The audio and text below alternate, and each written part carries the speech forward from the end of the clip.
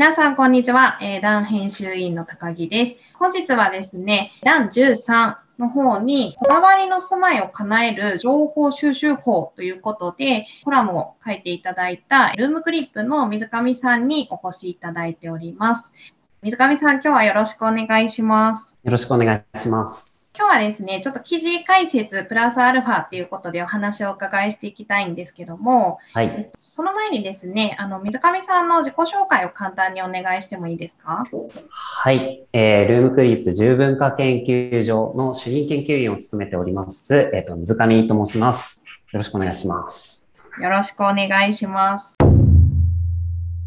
回、まあ、このような記事、えー、こだわりの住まいを叶える情報収集法ですね、えー、水上さんに書いていただいたんですけども、水上さん自身は今、えー、ルームクリップという会社に所属されてお仕事をされていると思うんですが、はい、えっと、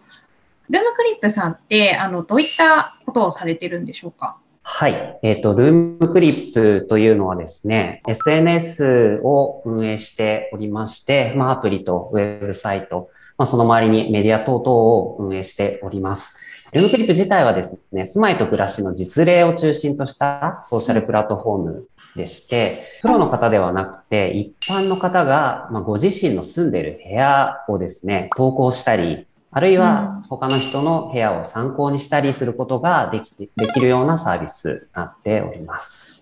そのユーザーさ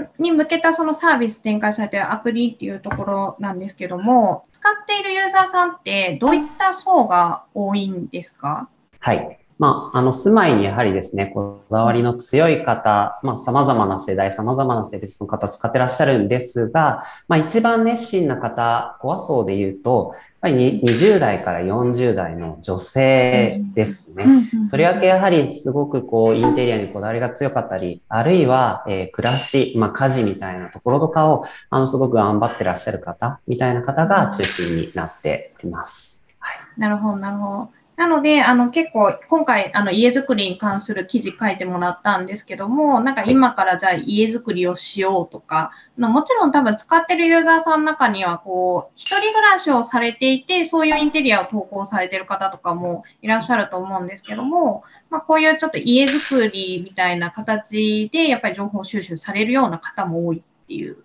ことですよね。はい、そうですね。まあ、やっぱりその家づくりされるタイミングって、まあ、あの、今すごくこう、インターネットに情報が増えてきているので、うん、やっぱりそういった、あの、ソーシャルメディアでとか、インターネットとかで、そういうその家づくりであるとか、まあ、収納であるとか、キッチンであるとか、いろんなキーワードで、やっぱり検索されると思うんですけど、まあそういったやっぱり検索された時にですね、まあルームクリップいろいろなところにコンテンツ出す出しておりますので、まあそういったところをきっかけにしてルームクリップ知っていただいて、で、そこからやはり使っていただく方というのもですね、非常に多いですね。ありがとうございます。でその中で、えっと、水上さん、あの、十分化研究所っていうところにいらっしゃると思うんですけども、そこは一体どういったことをされてるんですか？はい。えっと、ルームクリップにはですね、これまであの、お部屋の写真投稿するサービスだと言いましたが、累計で、まあ、500万枚以上、リアルな住んでるお部屋の写真が蓄積されておりまして、まあ、その膨大な情報を対象に、まあ、調査、分析をかけて、まさに住まいのトレンドみたいなところをですね、まあ、レポートにしたりだとか、発信させていただくみたいなことをやらせていただいています。なるほど、なるほど。その中で、例えば、ここ近年の傾向であったりとか、結構今って、あの、ここ10年ぐらいの間、コロナとか結構変化点が多いかと思うんですけども、ルームクリップさんの中のデータ分析されている中でも、そういったこう変化みたいなものって何か見られますか？そうですね。まあ、やはりとりわけ大きかったのは2020年4月以降、今おっしゃっていただいたコロナみたいなところの前後での変化は、まあ、かなりデータでも著しく出てきているところかなと思います。まあ、いろいろな側面あるんですけれども、例えば、その家で過ごす時間がやっぱり非常に長くなったっていうところで、まあ、これまで屋外でやっていた活動、まあ、趣味であるとか習慣であるとか、まあ、例えばキャンプが好きな方とか、あるいはジムに通っていた方とか、そういった方々が、まあ、外でそういうのがなかなかできなくなって、それをなんとか家の中で、再現しよう、代替活動をしようみたいなところというのはですね、まあ、やはり非常に盛り上がりを見せておりまして、まあ、なんかおうちキャンプとか、タクトレとか、そういう言葉って、まあ耳にするようになったと思うんですけど、まあ実際にそういうことを家の中でやるために、こういうふうにやりましたとか、こういうブランドのこういうグッズ活用できますよみたいなところとかがですね、まあやっぱりすごくたくさん投稿されていて、まあそういった動きとかは、やはりまあコロナ禍で起こったまあ新しい動きかなと思います。なるほど。そういうちょっと新しいトレンドみたいなのがやっぱり多く出てきたっていうことですね。はい。ありがとうございます。今回、あの、この書いていただいたその記事の中では、あの、今研究されている中のその傾向として、暮らしの喜びを増やすことにこだわるその住まいづくりをされる方っていうところと、あと、暮らしのつらみですかね。を、え、減らすことに重点を置いた住まいづくりっていう、こうなんか二側面をこう見ていただいている入り方になってると思うんですけども、ちょっとここを見ていて、私もよくですね、こう、まあ、SNS を通じて、やっぱりこうなんかインテリアのことを調べたりとか、やっぱり家づくりのことをこう調べたりとかする中で、喜びの側面っていうのってすごくこう検索しやすいというか、あの目につくというか、やっぱり自分の興味のあることをすごくどんどん積極的にこう検索すると、今ってそれに対してこういろいろまた情報がこう入ってくるので、探しやすいというか、よく検索できるなと思ってるんですけど、なんか今回こう見てて、そのつらみのポイントって、あんまりこう積極的に検索することがないんじゃないかってちょっと思っていて、そういうところって、あの、このルームトリップさんのユーザーの中でも、このつらみポイント出てきている、検索しやすい、はい、なんかその辺をちょっと聞きたいんですけども。はいそうですね。もう本当におっしゃる通りで、そもそもソーシャルメディアにおいて、まあ、ルームクリップもそうですし、例えばインスタグラムとかでもそうなんですけれども、もともとその2010年代初頭、そういったソーシャルメディアが始まったタイミングっていうのは、やっぱりなかなかこう、おしゃれな部分というか、まあ、日常生活において、まあ、映えるという言葉も、あの、非常に流行りましたが、はい、そういったその日常の中でもとりわけこう、切り取りたい、みんなに見せたい、かっこいい部分というか、そういった部分を投稿する傾向っていうのが、もともとは非常に強かったんですね。はいはい。まあ、ルームクリップにおいてもですね、2010年代前半、まあ、とりわけ16年、17年ぐらいまでは、そういった、まあ、非常におしゃれな部屋のインテリアを実現するための、まあ、ノウハウといいますか、インテリアのコーディネートであるとか、それを実現するブランドの使い方みたいなところがですね、非常に盛り上がる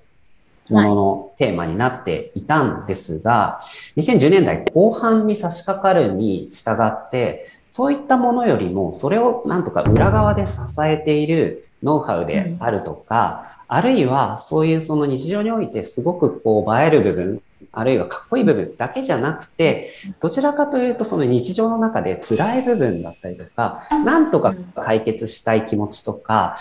かなり日常をいかに良くしていくかみたいな視点にですね、どんどんどんどん移っていって、映えが流行った後にインスタ疲れみたいな言葉とか出てきたりとか、はい、あとは例えばその楽、楽家事であるとか、あとは頑張らないとか、はいはい、最近では多分ズボラみたいなキーワードとか、多分いろんなところで、はい、お聞きする機会が多くなったと思うんですけど、それはまさに2010年代後半からですね、まあソーシャルメディアとかに上げるその話題がですね、まあかなり変化してきたっていうのがあって、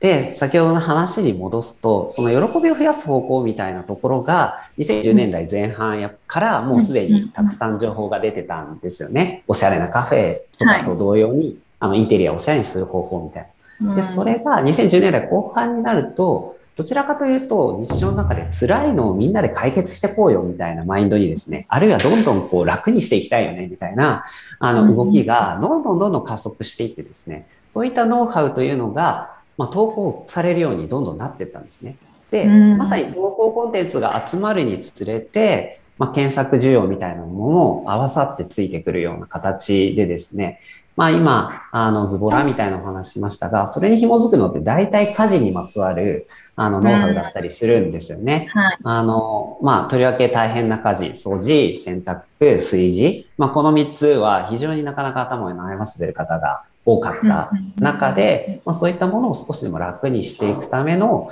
まあ、ノウハウであるとか、あるいはそれを助ける家電の導入みたいなところが、やはり非常に活発に、はい、話題になるようになったという背景がございます。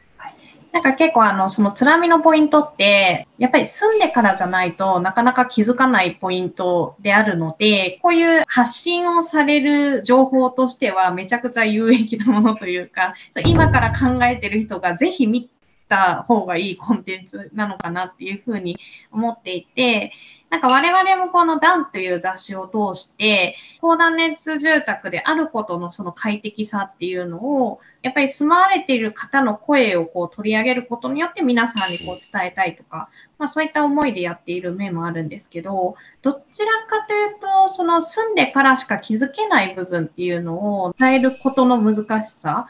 あと、ユーザー側からしたら、それを多分見つけることの難しさみたいなところがちょっとあるのかなというふうに、普段ちょっと感じておりました。はい、ただ、あの、ルームクリップさんの中では、すごく今そういうところの需要が増えているっていうことなんですね。はい、そうですね。ちょっと補足させていただきますと、はい、まあそういった今、つらみというようなのを感じるポイントって、その実は割とライフステージに寄り添ったタイミングとかイベントで出てくるものであったり、はい、あるいは世帯構造みたいなところですかね。まあ、例えば、その共働き世帯であるとか、まあ、シングルの世帯であるとか、やはりそれぞれの、まあ、そういうライフスタイルみたいなところと連動してそういったものってやっぱり現れてくるという中で、まあ、やっぱりその、いわゆる先輩ですよね。そういう少し先にそういうライフステージに到達していて、はい、そこで感じたつらみを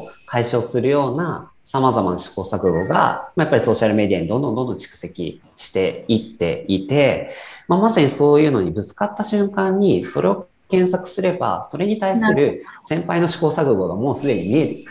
る。それに対するある種の解決法が、まあ、割ともう揃いつつあるという状況が、まあ、やはりこの2010年代後半に、まあ、徐々に整ってきた状況で、まあ、まさにその家づくりをするタイミングももちろんそうですけど、もうちょっとこう、日常の中で、あ、ちょっとこれ大変だなって思った瞬間に、まあ、何かしら検索すると、それに対する解決策みたいなものが、まあ、非常に見つかりやすい状態は整いつつあるのかなというのは感じてますね。なんかその膨大なこの情報の中から、こう自分の求めてる情報をズバリ探していくためのコツみたいなポイントみたいなところってちょっとありますか？そうですね。基本的には、まあ、ちょっと後半の方に書かせていただいているんですが、ズバリそれを解決するキーワードみたいなのが、まあ、思い浮かぶ方がいらっしゃれば、もうズバリそれを検索していただければ、それを解決するグッズであったりとか、あの、うまくいっている方にたどり着けるとは思うんですけど、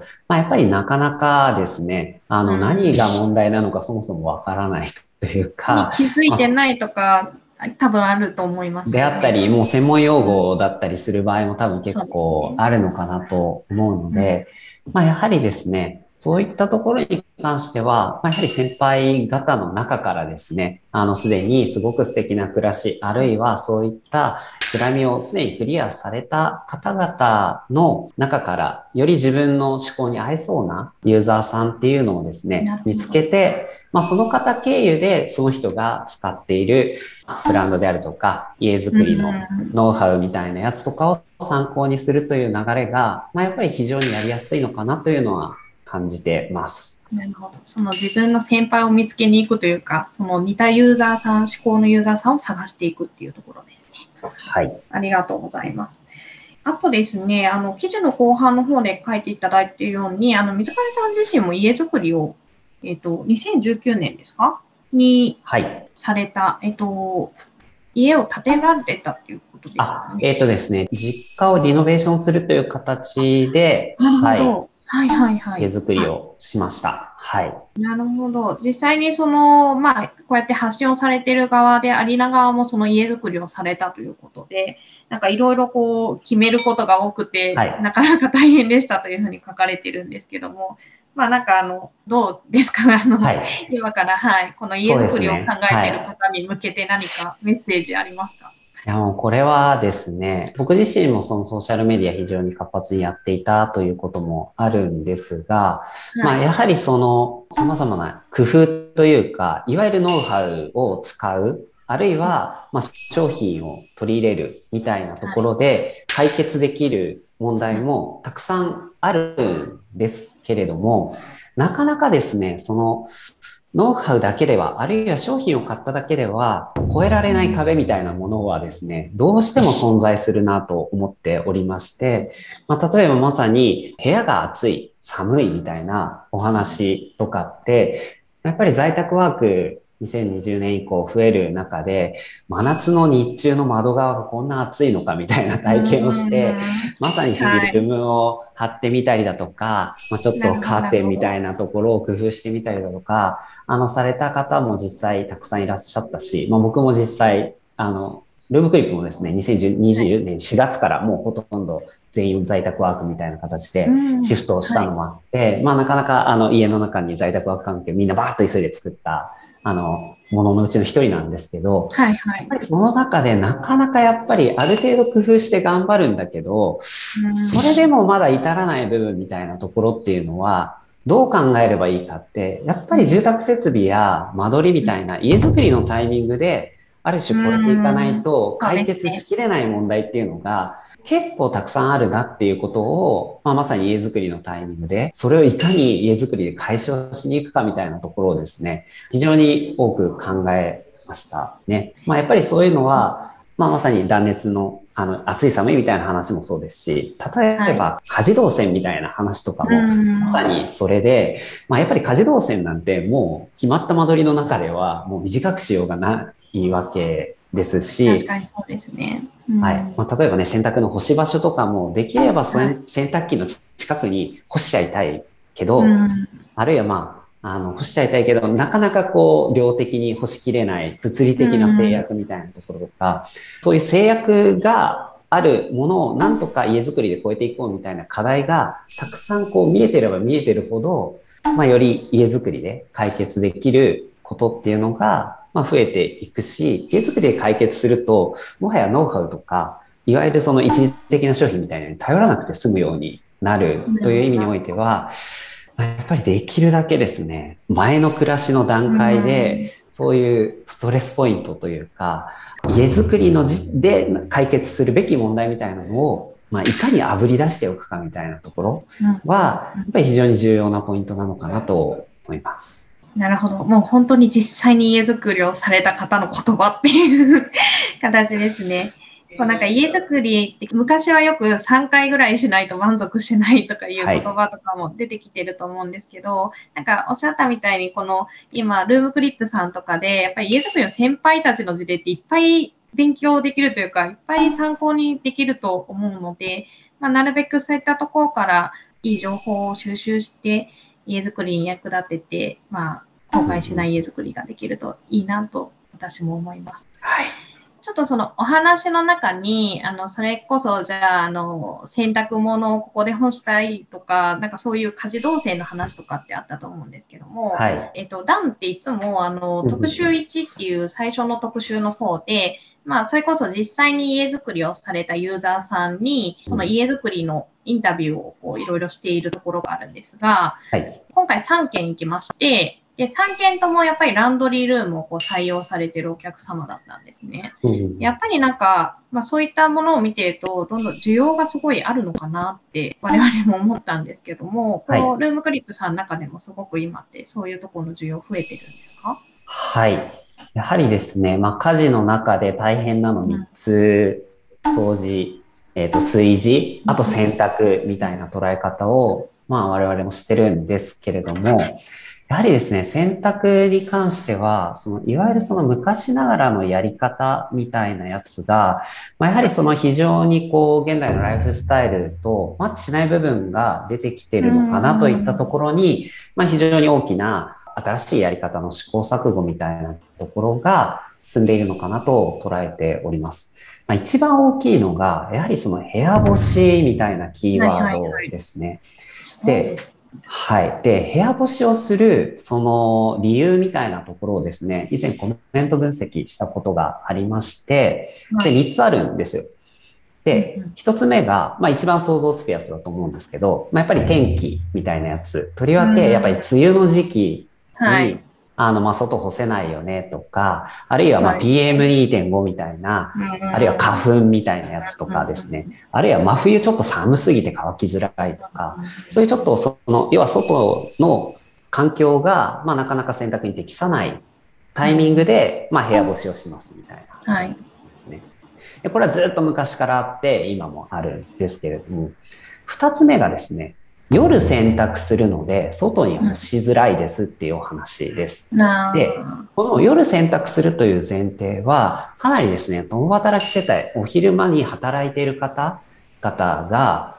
日中そもそも干せないし、朝干しちゃうって、日中天気が崩れた時に、もはや、ね、取り込めないという状況の中で、うん、まあ基本的にはやっぱり夜洗濯して夜干したいというニーズに対してですね、うん、外に干すということがそもそもなかなかマッチしないというところで、うん、家の中に干したいですというやつ。で、もう一つ最後の三つ目が時短をしたいというやつですね。まあ、やはりその洗濯場所から、そのいわゆる外干しのための、まああのベランダであるとか、お庭であるとかに持っていくのって結構やっぱり大変。まあその量が多いと、なかなかこう一回で行けなかったりとか、そうですね。するみたいな、まあそういったその部屋干しのニーズみたいなところがですね、まあ非常に盛り上がってるっていうところが、やっぱり一つある中で、じゃあ部屋干しどこにするかっていう話なんですよ。うん、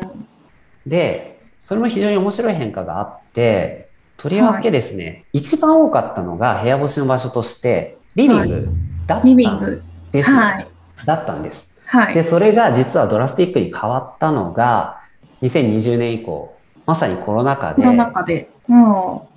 おそらくですよ。で、リビングから洗面脱衣所に移動させる方がやっぱりすごい多かったりとか、なるほどあるいは、ちょっとその階段の吹き抜けみたいなところに、あの、設ける方が出てきたりとか、あるいはまさにランドリールームみたいな専用の部屋を、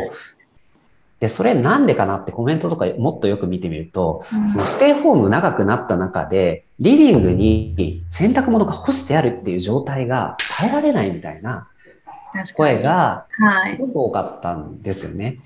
はいまあ、やっぱりそういった中で、まあ、見えないところにあの置きたい。あるいはもうやっぱり洗濯機のそばに何とか置いちゃいたいって思う方っていうのが、やっぱり実際すごく2020年以降増えてるっていう流れの中で、やっぱりまあ洗濯と干す場所の確保、あるいはまあしまう場所も一緒にできればしちゃいたいよね、みたいなところが合わさったところに、もう答えとしてのランドリールームが、まあそういったニーズを全て解消するっていう意味において、まあ専用部屋だよね、みたいなところは、すごくまあ合理的な落としどころなのかなとは思います。なるほど。すごい納得します。最初に言われていた、やっぱり暮らしの変化っていうところが、やっぱりそういったところに